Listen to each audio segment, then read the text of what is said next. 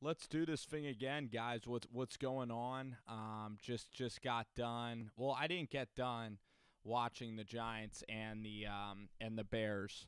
Um, I watched it tonight. I, I built my night around it. I guess that's what you do. Um, I guess that's what some people do. Some people go out and um, I don't know, drink alcohol, meet girls, do that kind of stuff. I what I did is I watched um, tonight. I was able to watch this game, and it, it was a treat. It was it was a wonderful performance tonight. Um, you know, for this video, I want to go over the quarterback play, but then there's going to be another video that I'll take even more notes on before, and uh, I just want to look at Marcus Golden. Like some of his sacks tonight might be really fun to look at some of the defense. Um, but, however, I mean Eli Manning tonight. I mean that's really good velocity, right? I mean the running game, um, just just even right here, um, get a little pass interference. But even Rod Smith, you know, former Dallas Cowboy, you you know, Rod Smith seems like he's 35 just because he's that powerful back. He's kind of that throwback Peyton Hillis type of back. He could be 25. And even when he was 25, people probably thought he's 38 years old. But he has a nice burst. And and tonight, you know, Rod did put the ball on the ground in the second quarter. But Rob, like, showed, Rod, excuse me, showed good vision tonight. But Paul Perkins really was explosive in a way that he hasn't been in a lot of summers. And look at Kevin Zeitler there. Just take that guy, just move him. Look at Mike Remmers. Just absolutely bully the second team. Nate Solder gets all the way down the field. So just an incredible finish there by the offensive line. And it was just fun to watch the offensive line play this type of football and make the drive convenient for Eli Manning and convenient for the offense. You see what a great job there uh, Halapio does, um, getting that guy out of the way, and just the offensive line was grooving tonight. And yeah, you could say it's versus second stringers, but I don't really care. Um, Rhett Ellison protecting the ball as he goes down because when you're when you're getting tackled from behind as well, you want to be able to protect the ball, right? You know, because you see a lot of fumbles on this kind of play. So this was good. Kwiatkowski comes in there, and uh, and Rhett's just able to take that. So and then last throw, I'll show you from Eli Manning. This was even better than the touchdown to me. Um, just just so much velocity. I just I just I, Eli just looks fresher, and um, this this this ball was just just completely just just a rope. This was a frozen rope by Eli Manning here. Foot in the ground, Eli Manning under duress, and uh, yeah, just tons of arm strength. And then you get Fowler breaking a tackle, getting into the end zone. Just a huge momentum boost for the team. Not like the team needs any momentum. We're, the Giants are, have had an incredible offseason, and the Giants had an incredible performance tonight. Um, just incredible. Defensively, um, getting the safety, getting the four sacks, getting X Man sack. This defense played tremendously well. Grant Haley um, in all the right spots defensively. Uh, he had a wonderful game. Ballentine, other than giving up that long pass, uh, the first half, the defense was lights out good, lights out. And Pat Shurmur said, I mean, the turning point in this game was after Daniel fumbled, getting that missed field goal that was just incredible. Those two sacks there in, in, on that series, getting the missed field goal after Daniel fumbled deep in the Giants' territory, and then the Giants go down and get points of their own. That was a six point swing in the game and, and was absolutely huge. So, anyway, let's look at some Daniel Jones. We've spent enough time laboring here. Let's look at a little Daniel Jones.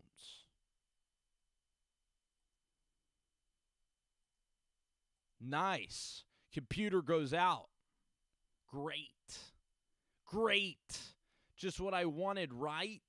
Just when I said it's time for Daniel Jones, the computer goes out on me, you know? So, uh, you know, uh, all right, all right. Let's go to condensed, and now let's, we're finally going to get to Daniel Jones.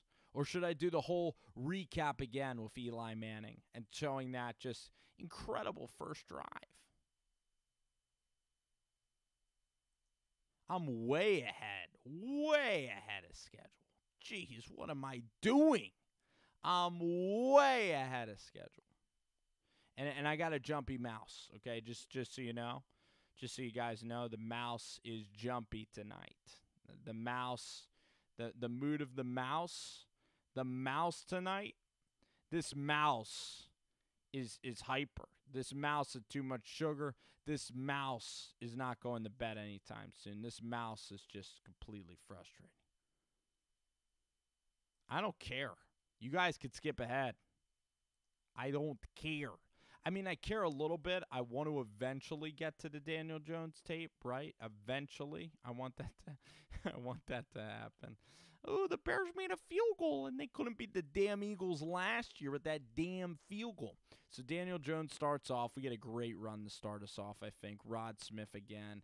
The offensive line. I mean, let's go back. I mean, come on. Come on. Look at Remmers. Look at Kevin Zeitler. Look at Zeit. I love it. I love it. Willie with the with the block. Willie with the finish. That's what I want to see from Willie. That finish. Second and four.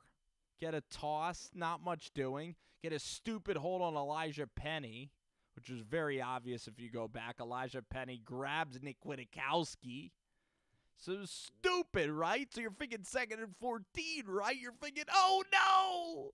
Oh no! Second and 14, what the heck's gonna happen? Daniel Jones throws a dart! Daniel freaking Jones! I mean, the I'm not gonna talk that way the whole video. But the point is that uh, the, let's go to this throw. Why it gets you so excited? Because this linebacker, you know, 55, 55's coming over here. You know, 55's coming over here. He goes to the back. It's actually this throw is, it beats number 28 of the Chicago Bears. This throw is a frozen one. It's a frozen rope. I didn't see this at Duke. Daniel Jones has improved so much. I mean, so much. Look at his footwork. His footwork is calm, and the ball's coming out. A lot of velocity. A lot of velocity in the intermediate game. He showed some of that at Duke, but now he's playing with some NFL wideouts. Just Shurmur's done an amazing job thus far with Daniel Jones, and this throw is is really incredible. I mean, Daniel Jones, it's so funny. He definitely doesn't overstride. Um, he's just very disciplined as a quarterback, and it looks like Cutcliffe's done a heck of a job with this kid, man. I mean, look at Jones, just so under control. This ball is just frozen. It's just a beautiful ball, and he just hangs so far back. And what I'm gonna take out of Jones, like what what has Daniel Jones taught me in my life today? So Daniel Jones has taught me that he's using a little eye manipulation because we got to get that we got to get that linebacker off and we got to keep this safety. We can't get this safety over here. We need this safety to keep going back. And that's what happens. And this ball, look at this. I love how he's already beginning his throwing motion here. That's what Darnold did last week. It was so effective.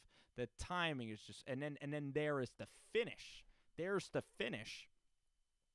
And he does have some momentum. Let's let's check his back leg. The back leg strides into the throw. and it's a little different than Mitchell Trubisky, the the, the back leg of Daniel Jones, but uh, the guy uh, great anticipation skills. Charges in. Charges in. And that's what Cutcliffe taught him, you know, because at Duke, the field is just so hot, you know, and he's out in 101 degrees working on footwork. And here you see that left foot sliding. I like that.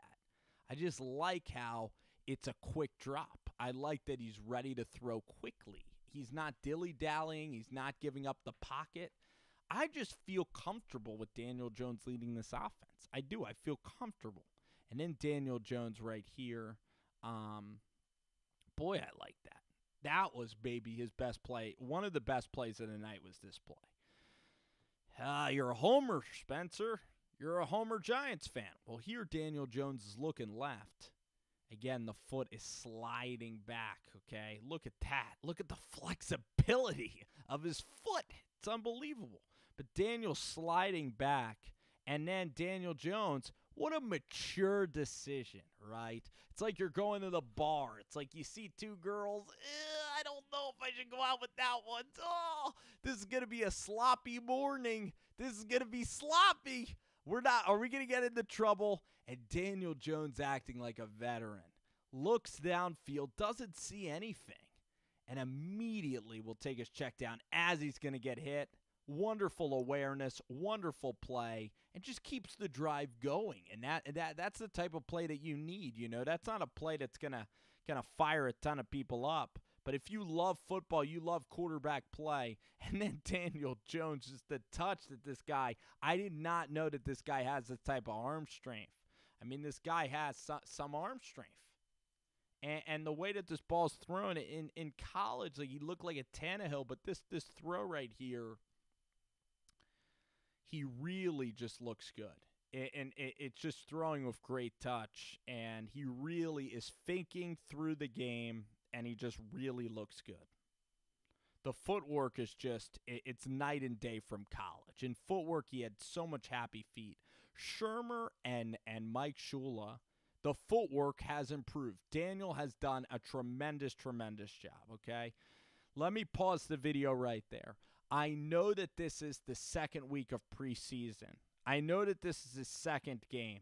There's a chance Daniel Jones might not be good in the NFL. There's a chance he might be incredible in the NFL.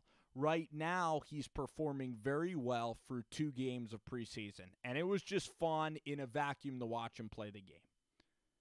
I'm not going to make any bold proclamations on Daniel Jones. It's just fun watching the guy improve, okay? And the guy has improved, and it's fun. And it's fun to see him play in Shurmur's offense. It is. And I enjoy every time he plays football. So there you go.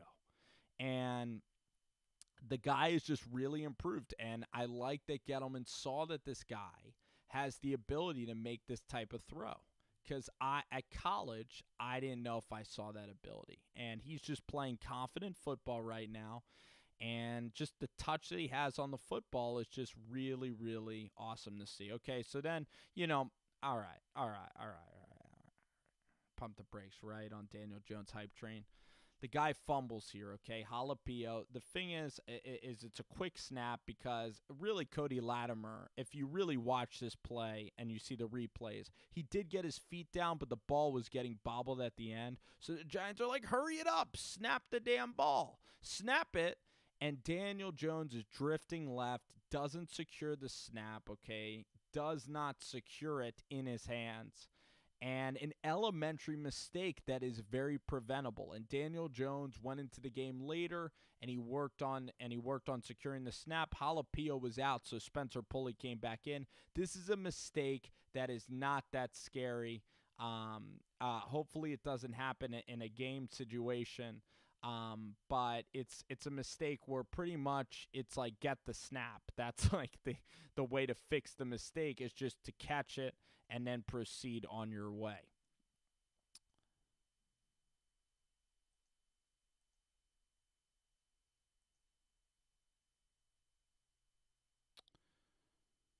All right.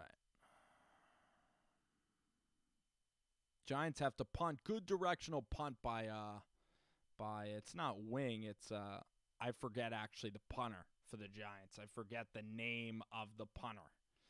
Um but I think it's Riley Dixon. I think he is the punter for the Giants. He did a good job. So here, got a good play action fake, and I like this throw from Daniel. The pocket is ridiculously good. And you just see what's so interesting about Jones is that he almost pulls up and, and like it's it, everybody's unique in the way that they throw the ball. What I learned from Jones is not to overstride, like maybe that's the life lesson. Um, but Daniel Jones here, if you watch him come forward with this, um, his body, it definitely he has a strong core, right? And his his lower body though, he really doesn't come forward that much. I mean, it's so funny how his body just kind of hangs back when he throws the football. That was a smart miss by Daniel Jones because that was going to be intercepted. That the defender was closing on him that was an underrated miss. You had to miss there, or it's going to be pick six city. So if that ball hung, hung up there, it was going to be a pick six. Now let's see if the backer might have been open. Uh, maybe he could have swung it around and hit the check down. He probably needed to hit Paul Perkins. So that's something that you'll watch on film, right? Because if, if Golden Tate is, is taken, uh, you have a great offensive line. You have the first stringers in. Well, yeah, just take the check down. Actually, excuse me, it's second stringers now. Um, okay. So on this series too, I like this third down throw. This was a good throw by Daniel Jones. The receiver just slipped. This was a this was a tremendous ball. Guy's playing really good football. He had a really good game again tonight. Good footwork there. Active feet, active feet, active feet.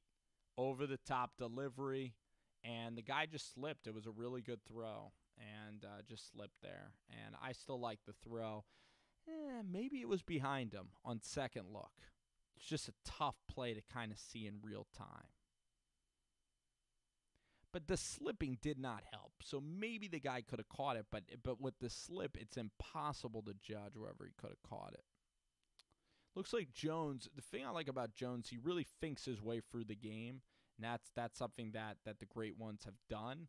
Like a Peyton Manning has fought his way through a game. Drew Brees, all great quarterbacks actually possess that.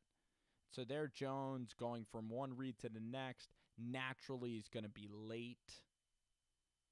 And um, yeah, he was a little bit late. So that's life.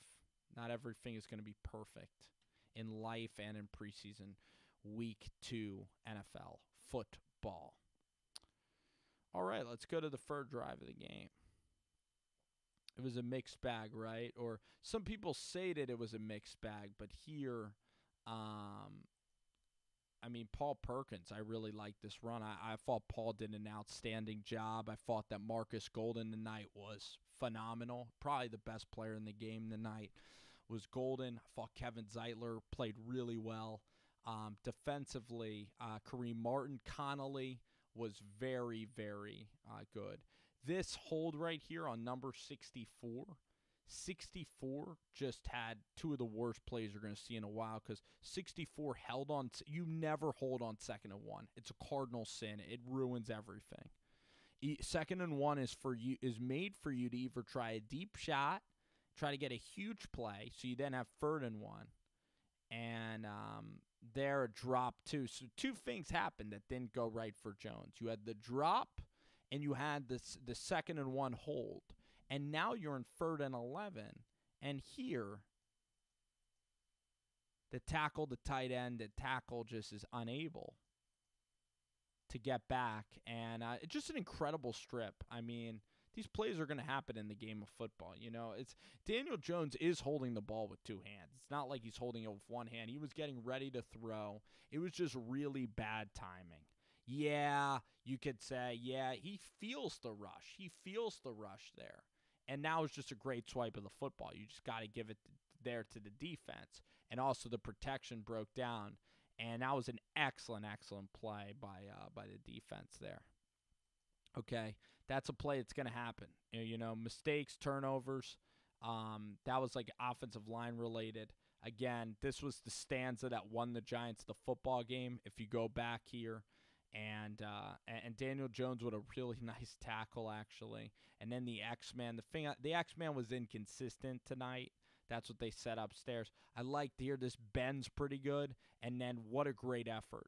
This dive from the X Man right here, showing off the athletic ability to dive and get Chase Daniel. Great play. Great coverage by Grant Haley again and then another coverage sack sort of thing. Daniel panics, and we get a nice, beautiful coverage sack. We then get a missed field goal. Uh, just, just, just absolutely, just incredible resiliency by the football team, and something that I was just loving. I loved every because the team uh, dealt with the adversity in an incredible, incredible way. So Daniel Jones again accurate, ball out accurate, bouncing back from two turnovers so tonight you got to see Daniel face his first adversity as a pro. Great cut there from Smith. Other than the fumble, Rod played well.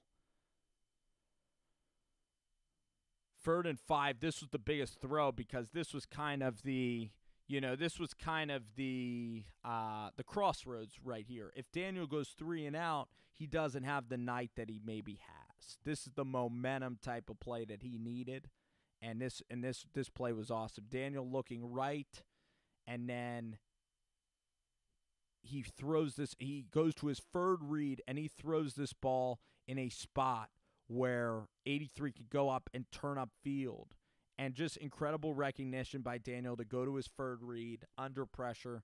Really instinctive play by Daniel Jones, and a play where, again, these NFL receivers, we have three Goldens on our roster, and again, where he can make a big play happen. Uh, there, the fumble happens, and we get two plays that um, were good for Daniel Jones. Um, two plays. And Daniel Jones here takes a check down, gets you in the field goal range for Aldrick Rosas. And then right here, I just didn't want to sack. You know, it's third and what is it? Third and 12. You're in field goal range. Your your defense is playing great football. I just wanted to get some points on the board. And, you know, here the feed kind of cut out. But Daniel Jones protected the ball and we got points out of that possession. So that was I, very ideal. And that third down throw was just was just fantastic to see. Uh, get a safety there, ridiculous kind of Chase Daniel like moment, like a Dan Orlovsky sort of moment there with the safety. Chase Daniel. And uh, the last drive for Daniel Jones, and it really was a beautiful last series. Look at Paul Perkins. Look at the burst here from Perkins. That second gear is very exciting. We're going to need a, a three horse running back stable. This second burst from Paul is really exciting to see. He's been having a great camp. He showed it in the game today. Second burst was there, and it was beautiful. Man, do I like that too. That's a that's a staple of, of Pat Shurmur's offense. It's a staple of football. You leak the you leak Perkins out there, so you get the linebacker. Once the linebacker leaves, this throw is is is, is thrown, and again, it's very accurate, and uh, the footwork is is good, and now it's just easy money. And T.J. Jones is having a really uh, he's really making an impact. He's I think he's got to make this football team. Love it on second and one, no holdings. And I think that you might get the touchdown eventually to, to, TJ to, to cap off really a successful night of throwing the ball. Daniel Jones. Uh, instead, you get another laser, just the slant routes. He's just killing it. And if Daniel Jones, uh, both of the fumbles I think are avoidable. You know, if the offensive line protects, the second fumble is, is a little harder to avoid. The first one totally avoidable. If he avoids that, the night is like an A minus, B plus. Instead, I'm giving him a B on the night. Um, you could. I, I'm even going to give him a B plus because I, I just think we saw more of Jones tonight. Again, it's very exciting to think about potential and down the road stuff with this kid. And um, if, if if during the season he needs to play, I think that the guy is going to be ready to, to really function in this league. But Eli's teaching him well. Eli's playing very good football. Daniel's Daniel is going to be ready, I believe and he's getting coached well, and I'm just very encouraged. Uh, great touch on the football. The fi- so let's list kind of let's summarize the thoughts a little bit. The touch on the football I did not see at Duke. The um, the footwork is so much quieter in New York than it is at Duke. He had a lot more happy feet. Um, the decision making is a ton more concise than it was at Duke, where Daniel Jones was very skittish on decision making, and here Daniel is is very decisive, um, which which I really like. The slant routes are incredible. Um, the slant route throwing the ball with velocity. I think that the Duke guys a lot. He would need to throw perfect balls in order for them to catch it. Daniel is still a very young guy, so he's still kind of filling into his frame as an adult. So he's putting on a lot more muscle. The arm strength is actually improving. You saw that with Baker Mayfield too. The throw last year, the 63 yarder to Jarvis Landry when he was at Texas Tech, when he first got to Oklahoma. You know, D- Baker Mayfield would have been a senior, and Daniel Jones came out his junior year. So you're seeing now what a senior Daniel Jones would have been, and a senior Daniel Jones would have been even better than junior Daniel Jones. So again, a great job by Dave Gettleman of projection, um, and a great job by the scouting department. I really feel comfortable with the Jones pick, and I'm really happy that he's on the Giants. And, and overall, the team is having so much fun. The camaraderie is fantastic. Um, it's a wonderful feeling. We're going through the summer. We're taking it in stages and steps, but I feel really good about where the football team is. And uh, let's hope to have a clean week next week and uh, stay injury free. I don't know about the second half of the game. The first half, the only injury I think was Antonio Hamilton, who had a groin injury. So I think that was like the only injury. So, um, but but yeah, what a fun fun game and Daniel Jones balling. All right, guys.